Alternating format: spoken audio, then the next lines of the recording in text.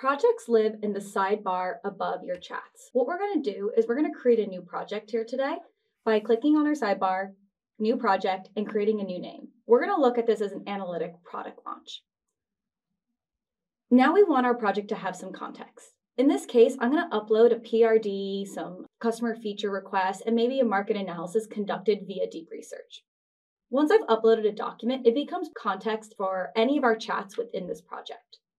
You can also set up some custom instructions to tailor a way that ChatGPT responds. In this case, I want Chat to pretend to be a product operations advisor or VP of product. Now, any chat within projects has this context and it also has the instructions. I'm looking to build out a detailed launch plan. I want to look into different regions and to find any potential risks.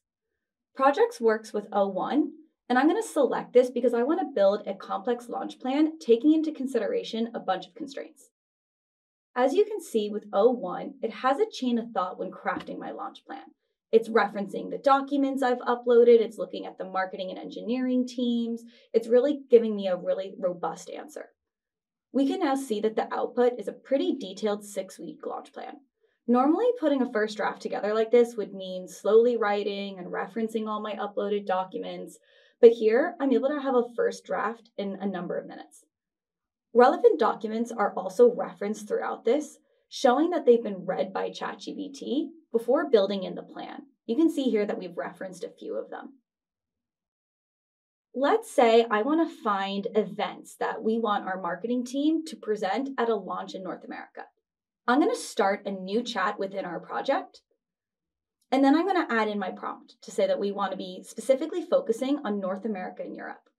I'm going to enable 4o so that I have my search capabilities. As you can see here, we're going out and searching. So it's going through the web to find out what are some of the relevant events within these locations. We can now see that it has shareable links and citations so that we can follow up on this later on. We can now return to our homepage where we're going to have the history of the two chats that we've asked within our projects.